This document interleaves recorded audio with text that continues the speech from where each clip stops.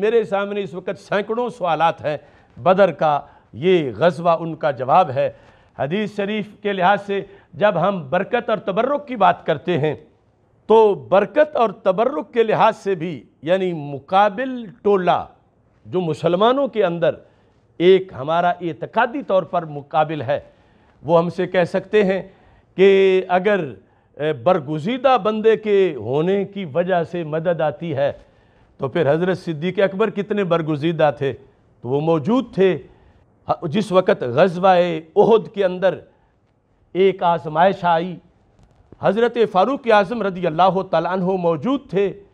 तो अगर महज किसी बुज़ुर्ग की वजह से मदद आ जाती है, महज किसी बुज़ुर्ग के होने की वजह से तो फिर वहाँ क्यों नहीं आई?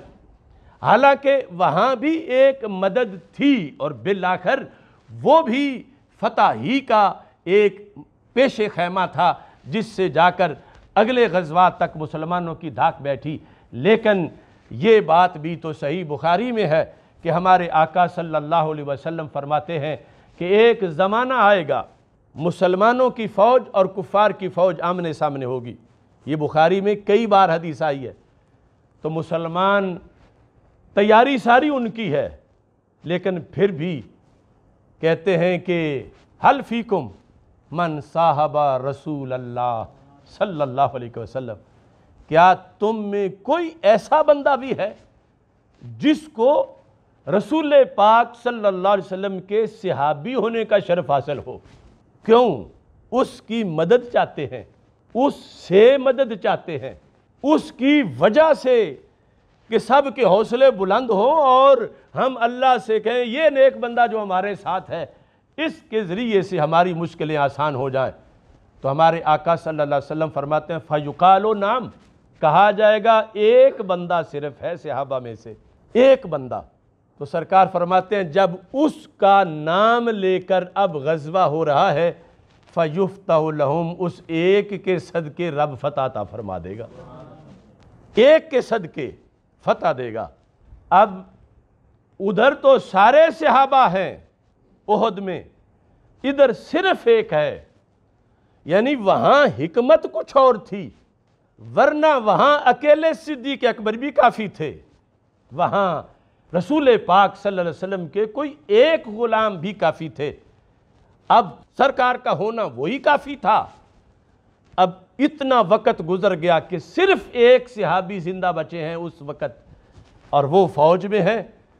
और ज़ाहिर है कि जो उस वक़्त एक बचे हैं तो नौजवान तो नहीं होंगे। वो नहायत ज़यीफ़ होंगे। अपनी जिस्मानी ताकत के लिहाज से बड़े कमज़ोर होंगे। लेकिन फ़युफ़ तहो लहम, उस एक की वजह से फ़तह सबको हो जाएगी। और इमाम बुखारी ने यहाँ पर बाब कैम किया, बाबू मनिस्तान बिदुआफ़ा फ़िलहर्ब कि जिसने ज़यीफ़ों से मदद चाही जंग के मौका पर। करनी जंग है, लेनी मदद है, और लेनी किस से है? ज़यीफ़ से लेनी है। हालाँकि मदद तो ताकतवर करता है, और वो भी आम हालात में, और जंग के मौका पर तो अपनी ही चाल चलते हैं दीवान गाने इश्क, आँखें बंद कर लेते हैं दीदार के लिए।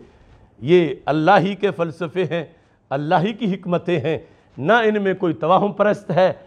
और सरकार खुद बयान कर रहे हैं इस बात को कि एक मेरा सिहाबी भी जिस लश्कर में होगा, वो दलील फतह है। उसकी वजह से फतह हो जाएगी। और ये भी खुद खबर दी कि सारी तैयारी भी की जाएगी। और साथ रूहानी तौर पर आखिरी स्टैंप ये भी लगवाई जाएगी। यानी जो लश्कर खड़ा है कुफार के मुकाबले में, उनके पास घोड़े भी हैं, ऊँट भी हैं, उनके पास तलवारें भी हैं, तीर भी हैं, मुजाहिद हैं, उन्होंने मुकम्मल ट्रेनिंग हासिल की हुई है।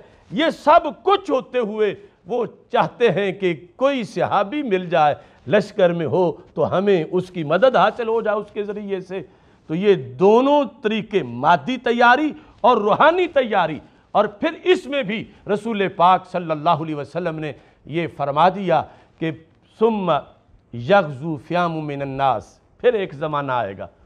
लश्कर आमने सामने होंगे तो मुसलमानों की जो फ़ौज है, उसमें ऐलान होगा। हल फ़ी कुम मन साहबा असहाबा रसूल सल्लल्लाहु अलैहि वसल्लम। क्या तुम में कोई ऐसा भी है? अब सिहाबी तो नहीं मिल सकता, लेकिन कोई सिहाबी का सिहाबी, यानी जिसको ताबी कहते हैं किसी सिहाबी को देखने वाला कोई फर्द, यानी कोई ताबी अगर है तो उसको ढूंढो, ताकि उसको फौज में रखें और उससे मदद हम हासिल कर लें। उसके होते हुए हमारे लिए फतह हो जाएगी। तो सरकार फरमाते हैं, ये पहले खबर देख जा रहे हैं। फरमाए जो कालो नाम, कहा जाएगा हाँ सिहाबी तो कोई नहीं, ताबी भी अब सारे उठ गए हैं दुनिया में, सिर्फ़ एक ताबी है। तो सरकार फरमाते हैं फ़युफ़तम उस एक की वजह से रब फतह फरमा देगा। अब जिसने अकल के तराजू पे तोल के शरीयत को मानना है, वो बताए कि यहाँ सरकार को देखने वाले का शागिर्द, सरकार के सिहाबी का ताबी, उसकी वजह से फतह हो रही है और वहाँ सारे असहाब मौजूद हैं।